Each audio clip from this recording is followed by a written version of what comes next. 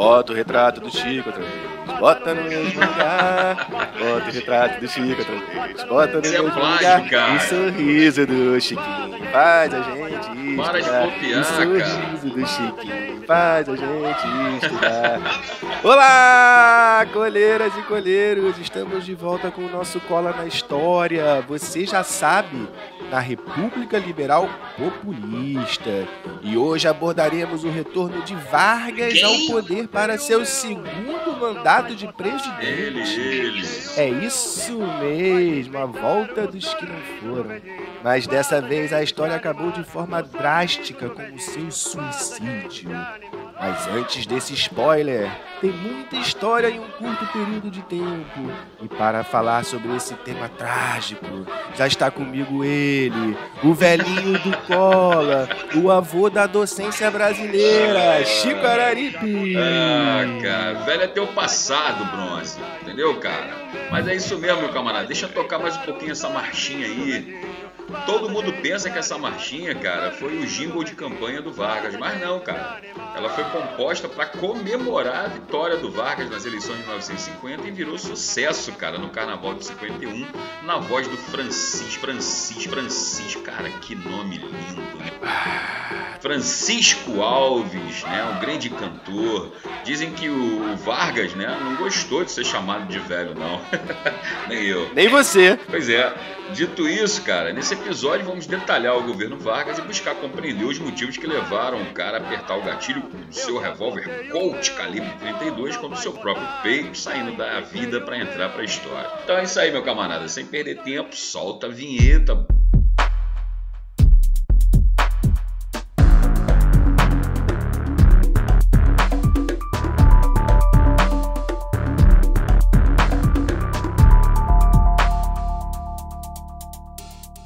Chicão, 15 anos no poder na chamada Era Vargas, depois de ter sido ditador do Estado Novo a partir de 37 e deposto por um golpe militar em 45, mesmo que um golpe ainda brando, nas eleições de 1950, Vargas apareceu como favorito nas eleições e acabando por voltar ao poder. É verdade. Como você explica isso, Francisco? Mas é fácil compreender os caminhos da política, né, Bronze? Eu sei.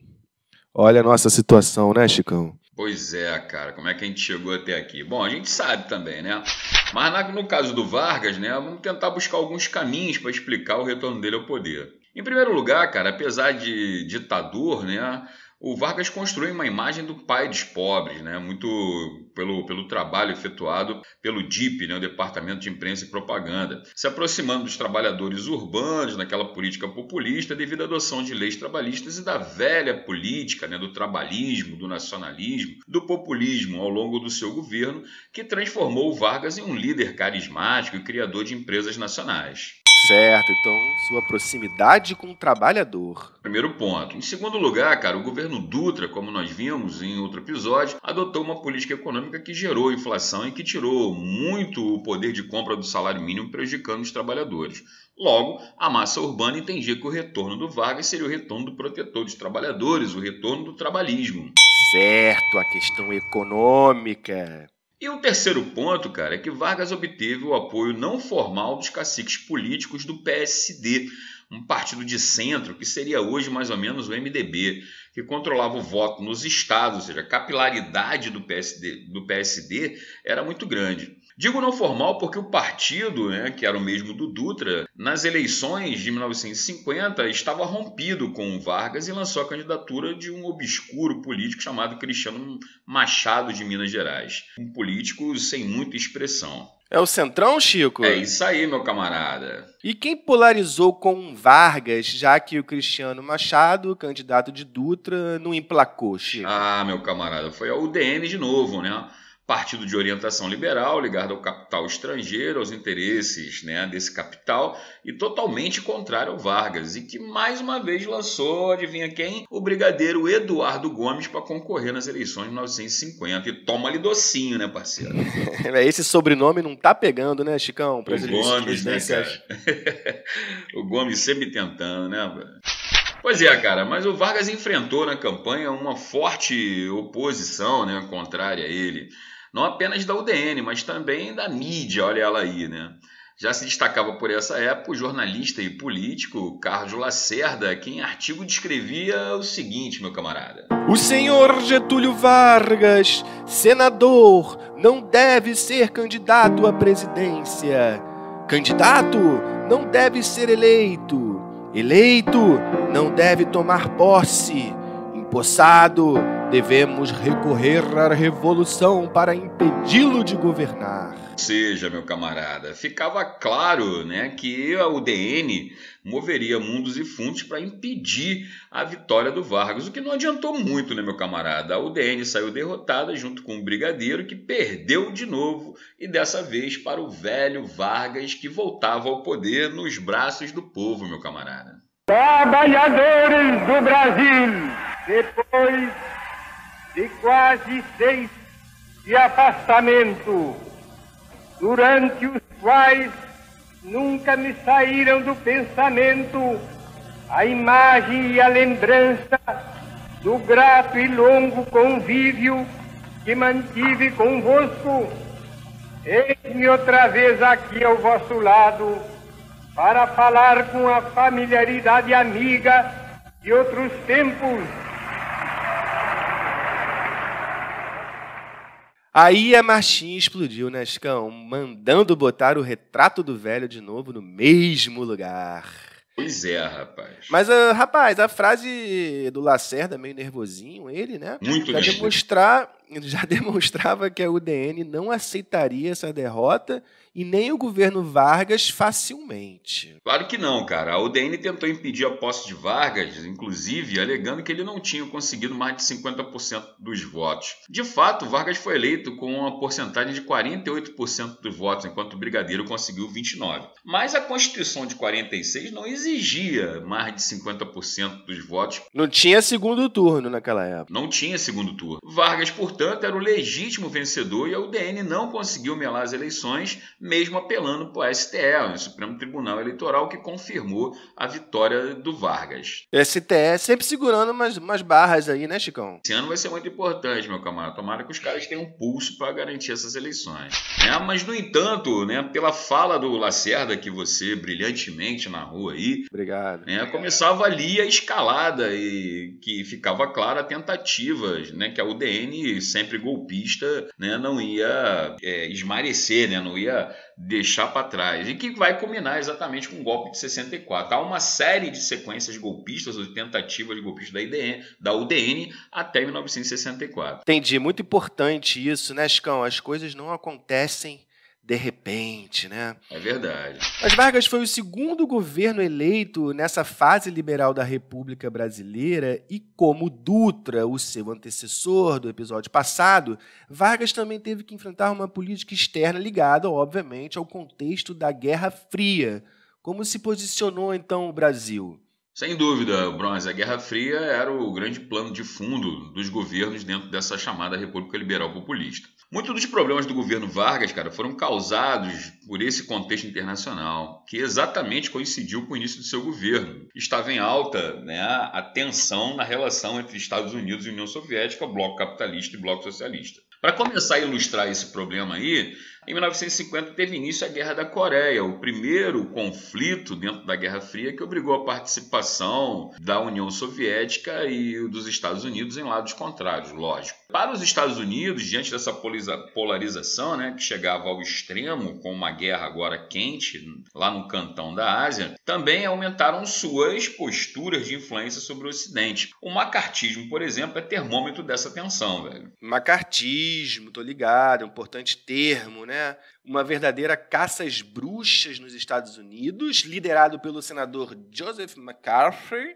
que levou milhares de cidadãos nos Estados Unidos a serem acusados de serem espiões soviéticos. É isso aí, Bruno. Entendendo que caça às bruxas, né, como sendo caça aos comunistas ou supostos comunistas, colaboradores da União Soviética que estariam em células espalhadas por todo o território dos Estados Unidos em atividade de espionagem. O macartismo se tornou uma febre na sociedade americana, começando em 1950 e perdendo força ali por volta de 54 até o McCarthy ser desmoralizado em 57. Mas durante esses anos, né, cara, muitos denunciados, desde atores, roteiristas de Hollywood, passando por cientistas, militares, e claro que essa febre, essa loucura, né, essa catarse social chega ao Brasil e vamos falar disso já já, né? Como é que isso, essa febre anticomunista chega ao Brasil? O clima ficou tenso, né, Chicão? Muito tenso, brother. Outra questão foi a política externa dos Estados Unidos voltada para a América Latina. Como é que foi isso? Verdade. A tradicional área de influência, né, a América Latina, uma tradicional área de influência norte-americana da economia estadunidense. Com a Guerra Fria, os Estados Unidos ainda endureceram mais o jogo para a América Latina. A estratégia principal era impedir concessões de empréstimo diretos aos países em desenvolvimento dessa região, como por exemplo o Brasil.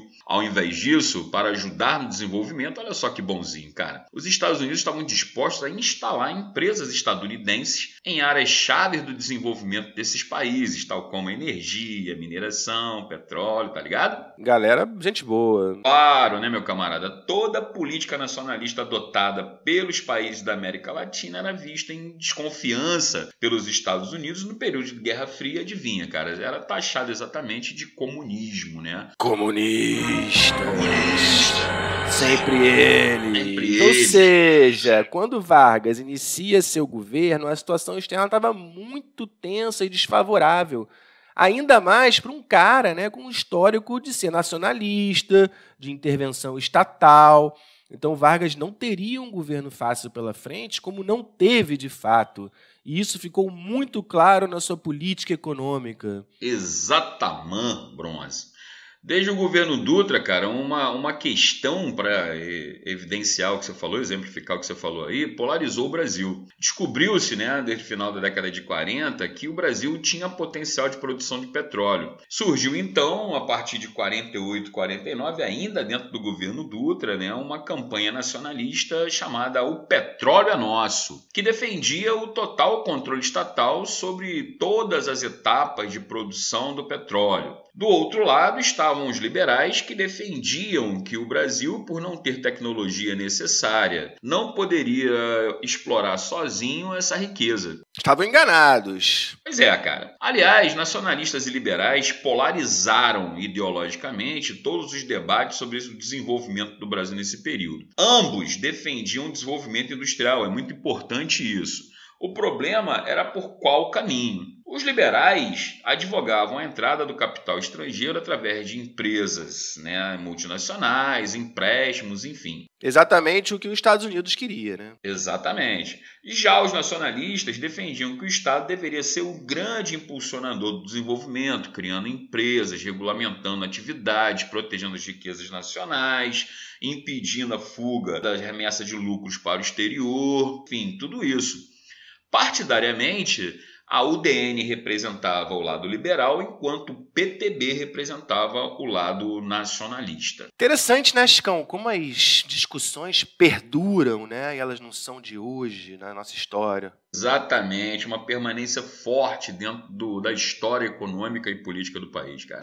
E como é que o Vargas se comportou diante dessa polarização sobre a questão do petróleo? Pois é, cara, inicialmente o velho tomou, tentou uma saída conciliadora, né? Ou seja, o velho populismo, tentar conciliar ambos os lados. E ele propôs a criação de uma empresa mista formada tanto pelo capital estatal como estrangeiro, ou seja, uma empresa de capital aberto. Mas não houve acordo diante daquela polarização, né, cara? Sendo atacado pela UDN e tensionado pelo PTB para tomar o caminho nacionalista, Vargas então tomou a decisão, não teve outra saída a não ser criar Petrobras empresa totalmente nacional que monopolizava todas as etapas de produção do petróleo, desde a prospecção até o refino, em 1953. Portanto, a Petrobras, cara, ela é fruto né, de uma mobilização social e também ideológica. Ainda bem, né? Ainda bem que foi assim, né, Chicão? É, cara. A criação da Petrobras foi uma das, uma das, medidas nacionalistas do governo Vargas, que também incluiu a criação do BNDES, como forma de dinamizar o desenvolvimento industrial do país, a proposta da criação da Eletrobras, um projeto de lei de limitação da remessa de lucros de empresas ao exterior, etc. Nossos friends não gostaram muito disso, né, Chico? O Big Brother não ficou muito feliz com essa parada, não, cara. E tudo isso, né, só agravou a situação do governo Vargas. Os Estados Unidos vetaram qualquer possibilidade de empréstimos e investimentos, já que o foco era a Guerra Fria, né? a Ásia, a Europa, enfim. Internamente, a situação piorou muito com o aumento da inflação e do custo de vida, o que fez surgir centenas de greves em todo o país, que culminaram com a passeata das panelas vazias e, posteriormente, com a greve dos 300 mil que atingiu diversos setores aqui dentro do Brasil. A mídia também, né, meu camarada, fazia sua parte, atacando o governo através dos jornais, como o jornal o Globo, olha que novidade, cara. A tribuna da imprensa e o Estadão, o Estado de São Paulo, que eram abertamente contrários ao Vargas. Politicamente, a oposição da UDN crescia e se materializava na figura do jornalista Carlos Lacerda, apelidado de O Corvo, né? aquele cara estouradinho, soturno, né? sempre o opositor principal do Vargas e, claro, membro da UDN. Né? Lacerda era a principal voz contra o Vargas pelo seu jornal A Tribuna da Imprensa, aberto em 1949, e também fazia suas comunicações à população através de um programa de rádio na Rádio Globo, além de aparecer também na TV Tupi, a primeira emissora do país de propriedade do Assis Chateaubriand, que era propriedade, que era proprietária dos Diários Associados, da qual a TV Tupi, primeira televisão, primeira emissora do Brasil de televisão em 1950, né? Aberta em 1950. Então fechou-se assim, né, cara, um conluio, né? Globo, Estadão, Diários Associados, o Carlos Lacerda, enfim, essa mídia aí apertando o lado do Vargas. E o Lacerda só na pilha, né? Acusava o Vargas de tudo que era possível, corrupto, comunista, que Vargas montaria uma união nacionalista junto com Perón da Argentina. A Ursal, Enfim. cara, olha aí. E na corrupção, qual era, o que, que eles falavam aí? Pois é, cara, no campo da corrupção, Lacerda acusava o Vargas de ter favorecido, através do Banco do Brasil, liberação de empréstimo, né, a Samuel Weiner, né, um cara que conseguiu né, através desses meios, criar um jornal em 1951 com grande aporte de capital de grana. Né? O jornal era a última hora, jornal que fazia bastante sucesso na época por ser considerado um jornal moderno, bem acabado, contava com profissionais competentes que foram contratados a peso de ouro, né, um salário muito mais alto que os outros jornais podiam pagar e que era declaradamente pró-governo, ou seja, havia aí uma estratégia do governo Vargas para combater a mídia contrária e de se aliar à última hora. Chegou-se, inclusive, cara, a abrir uma, uma CPI para investigar o caso, que acabou levando à prisão do Samuel Weiner. Né? Eu constatando aquilo que a CPI se, se colocou para investigar. Estava se fechando ali, né, meu camarada, todos os lados contra o Vargas. Dá uma olhada aí no Lacerda falando aí, meu camarada. Ora, muito bem, até que enfim o senhor Getúlio Vargas pretende punir corruptos e corruptores. Mas onde, onde estava ele quando a corrupção campeava? Que fez ele quando as portas do Banco do Brasil se abriram para dali sair o dinheiro com que um estrangeiro e um aventureiro se não completaram? Muito bem, Chicão. Vargas também provando um pouquinho do seu próprio veneno, né? Como se diz por aí, o que está ruim ainda pode piorar, teve um aumento de 100% a incidir sobre o salário mínimo, olha que beleza, levando os opositores de Vargas à loucura. E, claro, também ao aumento da oposição a esse governo. que camarada. Esse aumento né, foi problemático. O fato é que o governo Vargas apresentou para os sindicatos e movimentos sociais uma oportunidade de reorganização depois das interferências dos anos do governo Dutra. Né? Logo, os sindicatos tensionavam o governo a tomar medidas que favorecessem diretamente a massa trabalhadora. Na tentativa de conciliar, negociar, Vargas nomeou como ministro do Trabalho João Goulart, e foi ele quem autorizou o aumento de 100% do salário mínimo, sofrendo por isso inúmeras críticas de setores da burguesia, igreja, classe média e agora, adivinha, cara, os militares, né, que não receberam o aumento. pois é, cara. É, tudo isso engrossava as fileiras de oposição ao governo. Mas como com toda oposição, o Vargas, né, conseguia ir levando, se equilibrando, né? Até que, meu camarada, tiro, um atentado que mudou a história no dia 5 de agosto de 1954, na rua Toneleiro, em Copacabana, aqui no Rio de Janeiro. Lacerda chegava ao seu prédio junto com dois assessores. Quando o pistoleiro abriu fogo contra o. No tiroteio, um dos assessores de Lacerda, o Major Rubem Vaz, foi mortalmente atingido e Lacerda saiu com um tiro no que aliás dizem que foi forjado, né? Já que a arma dos pistoleiros era uma pistola 45, arma de uso exclusivo das Forças Armadas e que geralmente, meu camarada, onde pega destrói o que não aconteceu com o pezinho do Lacerda. Então, provavelmente, o cara disparou contra o seu pezinho para aumentar a dramaticidade da parada. Fato, cara, é que o Lacerda acusou frontalmente Vargas pelo atentado. Escreveu o Lacerda. Perante Deus, acuso um só homem como responsável por esse crime. É o protetor dos ladrões, cuja impunidade lhes dá audácia para atos como desta noite esse homem chama-se Francisco, quer dizer, Getúlio Vargas.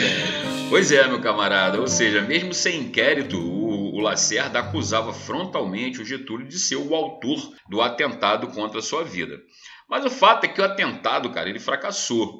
Pior que isso, cara, o táxi, o táxi que deu fuga aos pistoleiros, teve sua placa anotada por um guarda municipal que ouviu os tiros na rua e foi ao local. Logo o crime, né, depois logo do crime, né, o crime passou a ser investigado pela polícia e divulgado pela imprensa. Sabendo que seu táxi havia sido identificado, o taxista José Raimundo, que fazia ponta, adivinha onde, cara? Na rua ao lado do Palácio do Catete, na Silveira Martins, cara. Diz a polícia que levou dois homens ao prédio do Lacerda, um deles, né, ele não conhecia, mas o outro ele conhecia muito bem, e era Climério de Almeida, um dos homens da guarda pessoal de Vargas e amigo né, do Gregório Fortunato, o chefe da guarda pessoal do presidente. A polícia, então, cara, fez uma diligência à casa do Climério aqui no Meia, brother. Olha só. Ah, só podia ser.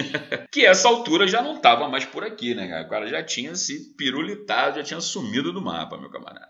Mas ele não sumiu por muito tempo. A aeronáutica assumiu o comando das investigações, a revelia da polícia com um grande aparato e homens armados e acabou por prender Climério e outro pistoleiro, Alcino João do Nascimento. Em depoimento, os caras disseram que Lutero Vargas, está reconhecendo esse sobrenome? Quem, meu camarada? Filho do presidente. Oh, filho do presidente. Planejou o atentado. Foi isso mesmo? Filho do presidente fazendo besteira aí, né, meu camarada? que, aliás, cara, esse atentado foi de um amadorismo, né? Uma atrapalhada atrás da outra, que justamente tinha como objetivo matar o pior inimigo do Vargas. Fato é que o crime diretamente envolveu a guarda de Vargas na figura de Gregório Fortunato, homem negro que acabou virando o principal alvo da imprensa e das pressões. Todos acusavam o Gregório né, da arquitetura do crime, claro, a mando do Vargas.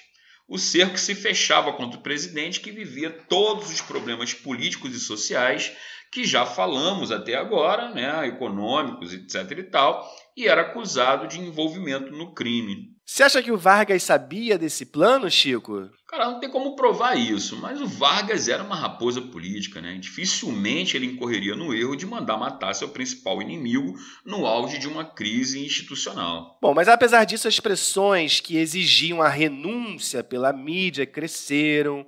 Vargas tentou administrar o problema, exigindo que as Forças Armadas mantivessem a ordem, mas. Estava claro que os setores haviam se unido contra o Vargas. Mas ele tinha, cara, literalmente uma carta na manga. Em meio à crise, Vargas deixou uma carta-testamento indicando que o suicídio seria uma de suas alternativas à crise e uma forma de evitar a exploração e a humilhação de sua, pris... de sua prisão, né? mas principalmente, cara, a vitória sobre seus inimigos.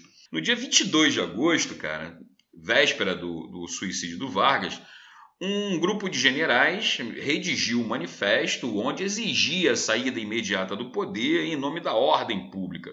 No dia 23 de agosto, Vargas fez uma última reunião ministerial em que pedia o apoio dos ministros militares para sua licença. Veja que o Vargas concordava em se licenciar do cargo e não renunciar para que tudo fosse esclarecido mas não, não, ele não teve essa garantia de forma nenhuma. Ou seja, ficava claro que o único caminho que o, as forças contra o Vargas queriam era a renúncia e a posterior sua humilhação e prisão. A reunião acabou já de madrugada, né, do dia 24 para o dia 25 de agosto, e Vargas se retirou para o seu quarto no Palácio do Catete, quando na manhã do dia 25 disparou contra o seu próprio coração. E assim estava morto o pai dos pobres. Chicão, caramba, hein, cara? O, o, presidente que mais tempo né, ficou exercendo esse cargo no Brasil termina a sua vida se suicidando em meio a uma crise.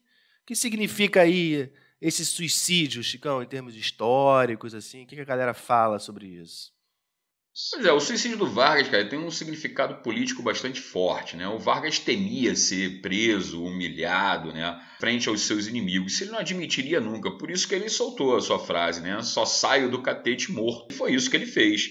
O significado do suicídio dele era exatamente jogar a população contra os seus inimigos políticos. Muitos historiadores, inclusive, sustentam a ideia de que o suicídio do Vargas acabou né, fazendo com que o golpe militar ele fosse adiado para mais alguns anos, o que acabou acontecendo em 64 no que o Vargas, no que esses historiadores estão assim muito embasados, porque havia todo um conluio militar a fim de fazer com que o Vargas renunciasse à presidência da República. Agora, o que se seguiu depois né, da morte do Vargas foi uma comoção nacional. Toda a oposição que estava reunida contra o Vargas teve que fugir, teve que buscar algum tipo de esconderijo. Jornais foram invadidos e empastelados, como o Globo e outros jornais pelo Brasil. A multidão realmente caiu comovida com o suicídio do Vargas. Vargas e havia, na opinião do povo brasileiro, alguns responsáveis por esse, por esse suicídio.